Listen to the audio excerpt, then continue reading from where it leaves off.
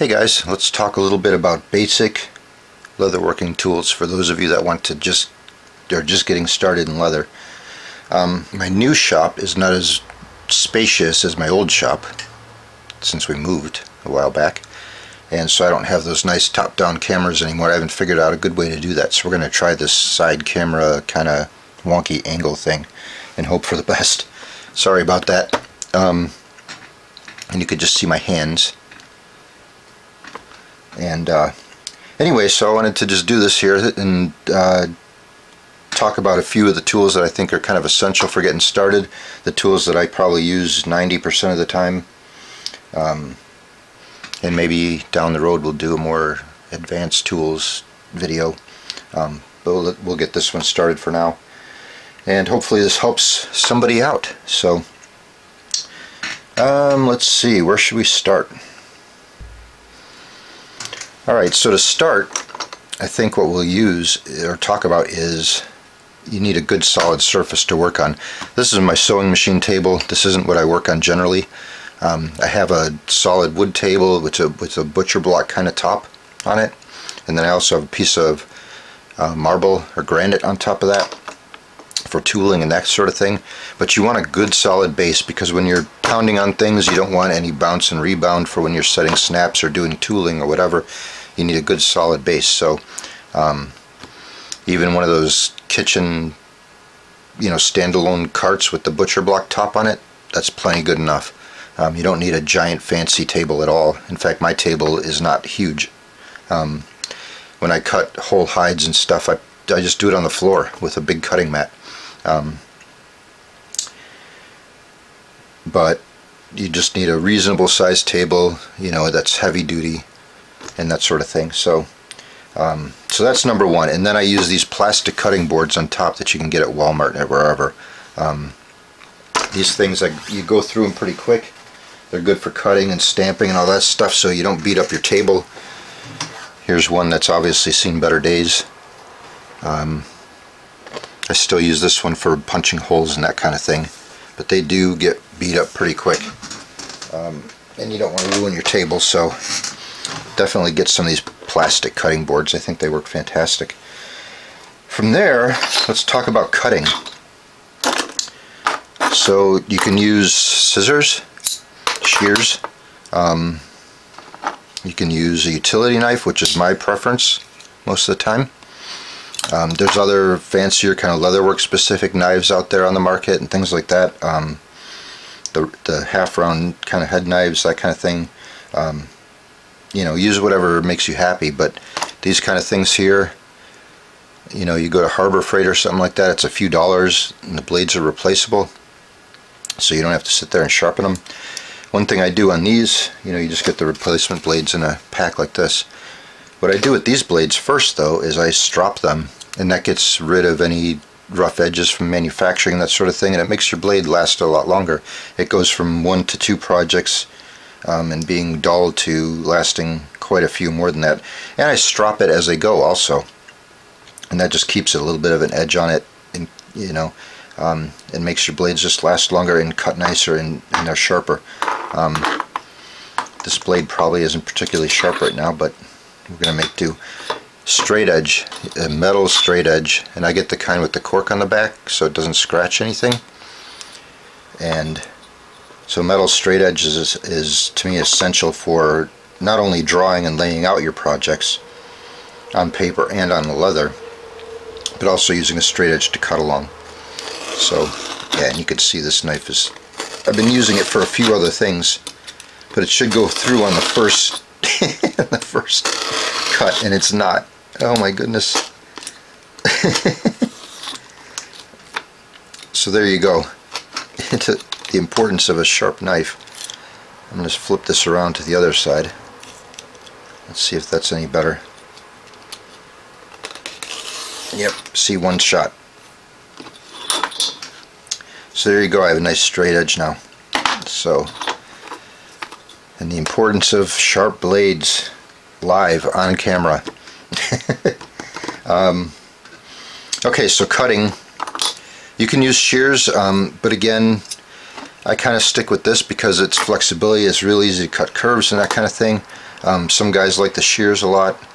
Um, I use these for specific things. Um, but again, it's a whole lot easier just to strop and change out blades on this than it is to sharpen a pair of scissors. So I'm just going for convenience, you know, and ease of use. I've gotten used to using the utility knife, and I'm I'm good with that. Um, trash can down there, another good thing to have. I use a five gallon plastic bucket. Um, marking lines and stuff for stitching and that sort of thing. You want to get one of these. Um, there's a couple different styles out there and they just have basically a little gouge on one end for cutting the leather and this is the guide for how far you want your stitching lines to be. So and again all of this stuff I'm talking about is assuming you're doing projects kind of like me. If you're making you know leather vests or leather underwear or something like that, you might need a different set of tools. Um, but that's not my specialty. So if you're doing belts and knife sheaths and wallets and things like that, this is the stuff you want to get. So these, once you get it adjusted to how far you want it, you just put the guide against the edge of the leather and push down a little bit. You can see that cuts a nice straight stitching line.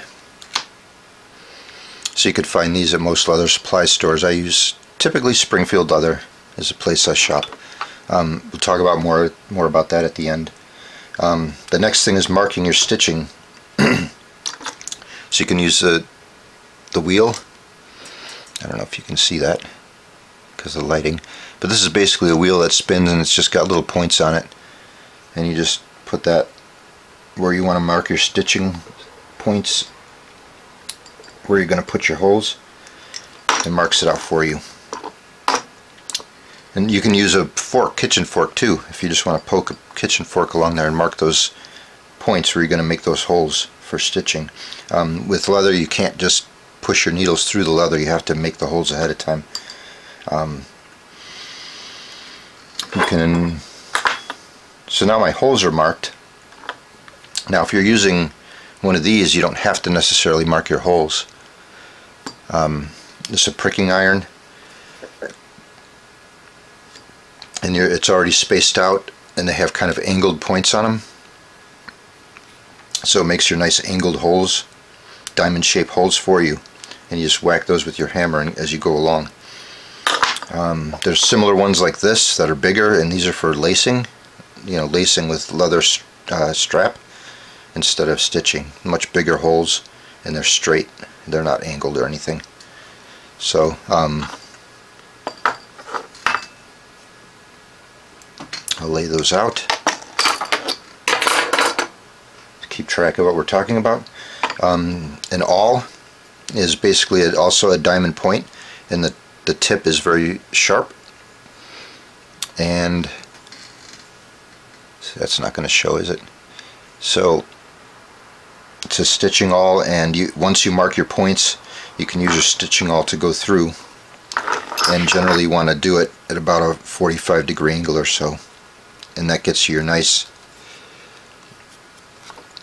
angled holes diamond shaped holes that are angled about for like I said about a 45 degree all the way along and that gets you your nice saddle stitch. The stitching technique comes into play of course but those holes angled precisely are important also.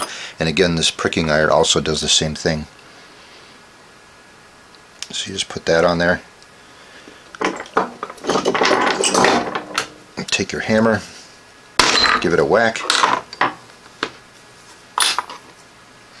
So there we've got our holes. We got one made by the awl, we got four made by the pricking iron, and they're all angled and they're all diamond shaped. So they look really nice.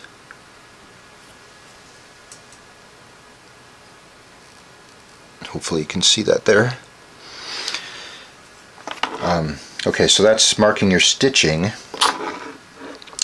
So again, we had lacing, stitching,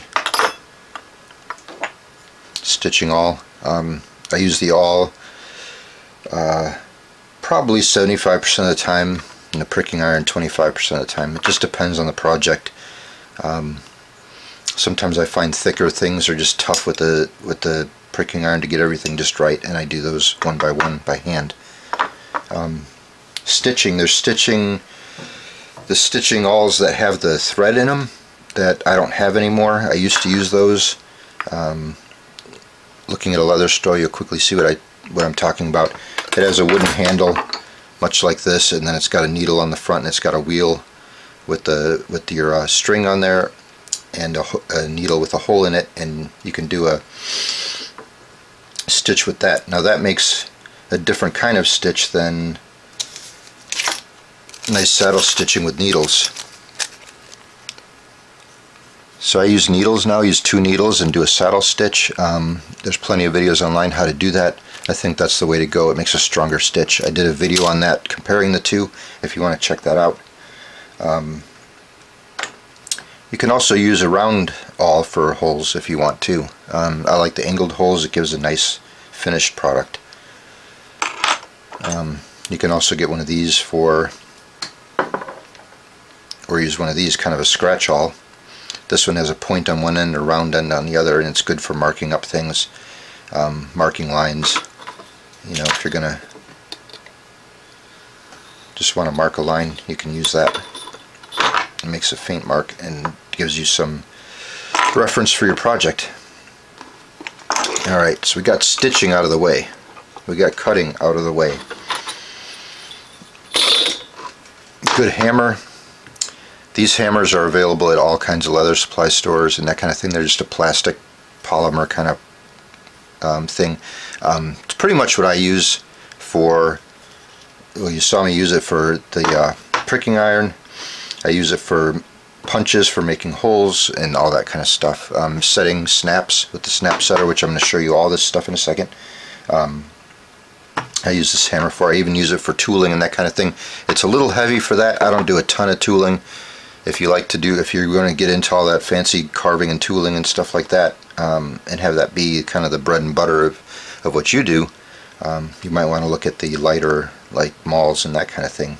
They have the round ended on them, and uh, the guys seem to like that a lot. I haven't used one, I don't own one.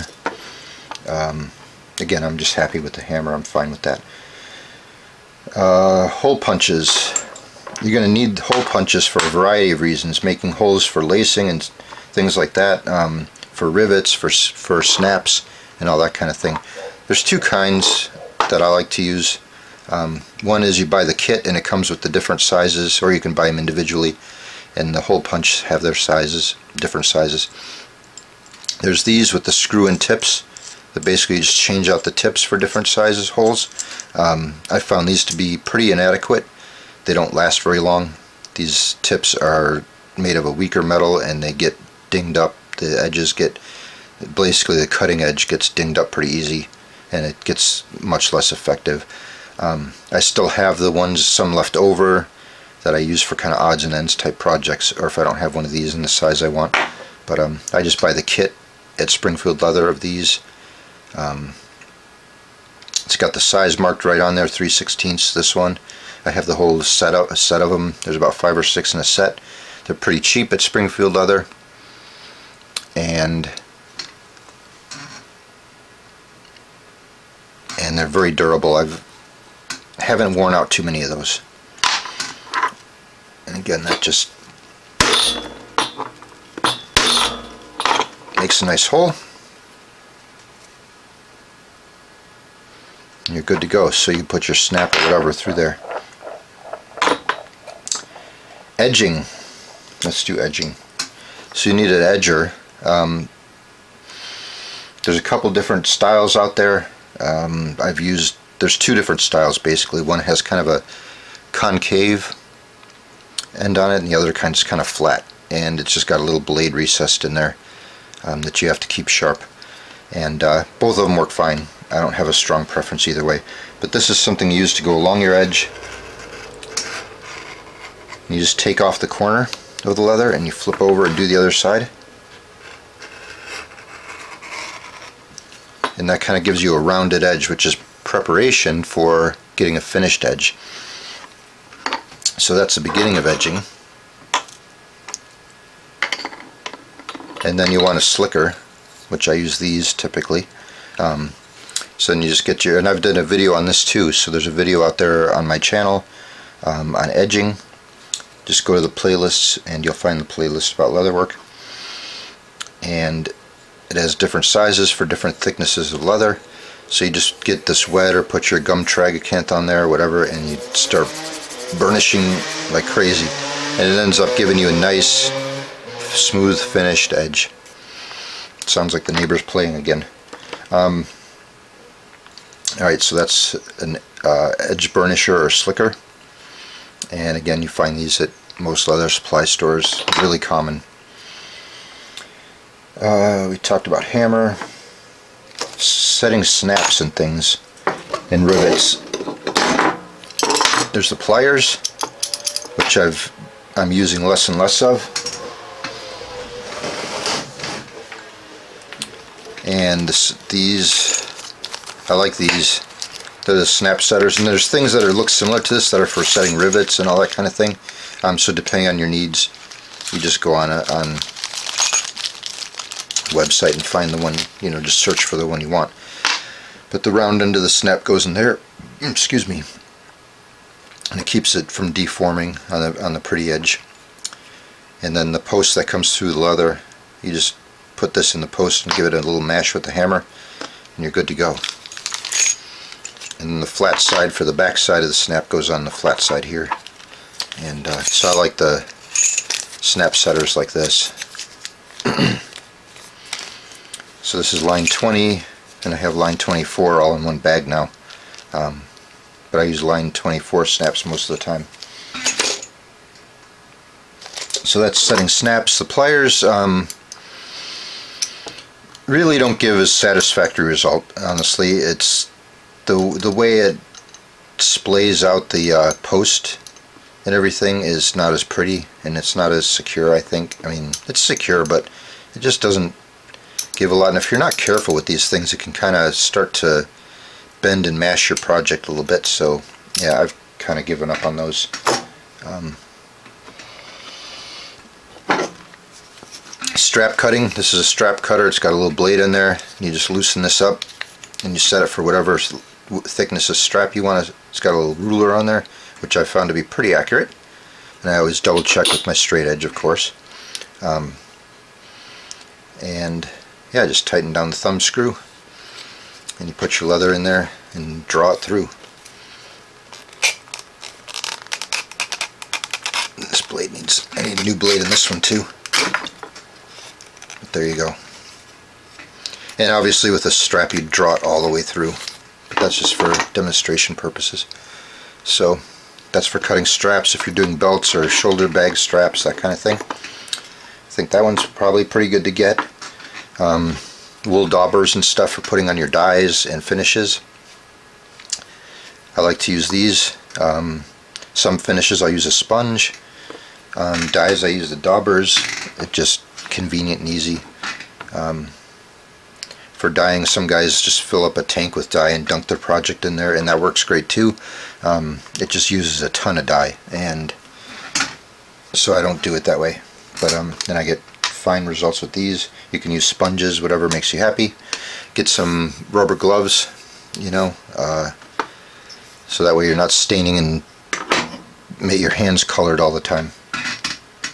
And learned that lesson a couple times the hard way And gluing, I just use barge cement with the red in the red can. Um, there's others out there, you'll find your preference, but barge cement, it's stuff shoemakers use and everything. It works fine. It's uh, pretty much a go-to glue. Um, I think I did a video on gluing leather too, pretty sure I did. It's in the leather playlist, so if you want to check that out, please do. Um, so I think that covers it with stitching and you know making your edges right, cutting right, um, being able to mark your stitching lines and that sort of thing. Another way to mark your stitching lines too is to use a divider. So you can set your divider to the width you want. And these are helpful for all kinds of things. But and then you can mark a line that way too.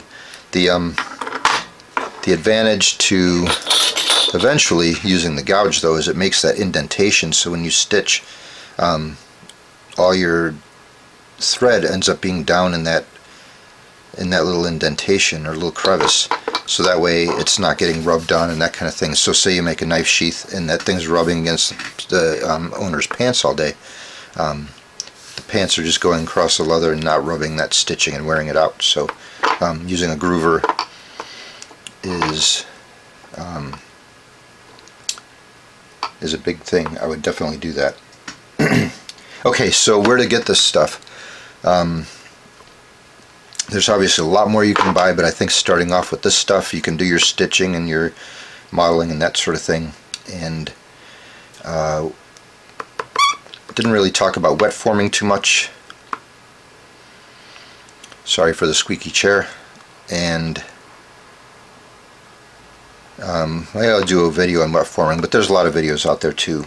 Uh, but I'll do one one of these days. But this will get you started and get you practice. And that's the biggest thing is just start doing things and start working on your skills and and getting the basics down to once you get the edging down and the, you get your stitching down and the stitching's looking nice your edging's looking nice your finishes are looking nice um, then you can move on to fancier things. Um, so where do you get this stuff?